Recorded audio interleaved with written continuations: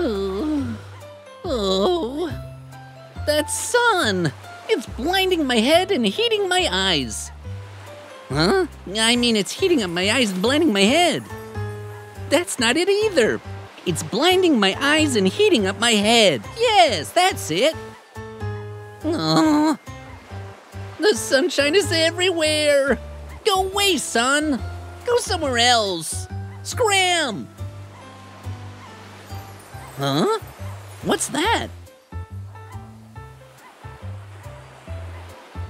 It's something colorful. Very crinkled. It's something soft. It must be something you can do a zillion things with. But what? Where are my buddies who know everything? Where, oh, where are those buddies of mine? They're really big and super smart. Best of all, they're full of heart. Come on, buddies, lend a hand. There's something I don't understand. Guri, we're here, playing in the sand. Hey, look what I found. Isn't it right that you can use it to do a zillion things? No. No? Of course you can. Like hanging it on your wall. Like a piece of art. no?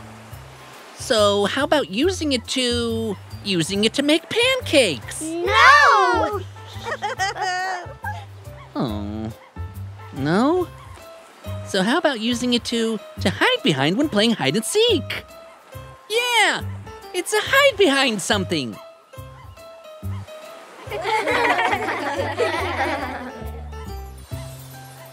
No? no. So what is it? It's a ball. That is, it used to be a ball. Yeah, it must have gotten punctured. Hmm? Gotten punctured? Yeah, it has a hole, and all of the air got out, so now it's not a ball anymore. So what can we do with the gotten punctured ball? Nothing. But nothing is no fun. Hey, I know. I can put it on my head. On your head?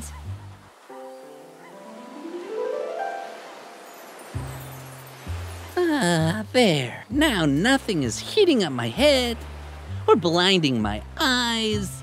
The gotten punctured ball has become a punctured ball sun shield. That's called a hat. A hat? You mean the one and only gotten punctured ball sun shield hat? Good evening, everyone. The beach is closing. Everyone out of the water. Time to go, kids. It's getting late. Let's go home. Time for us to go. Bye, Guri. Have a good night, buddies. See you tomorrow. Ugh.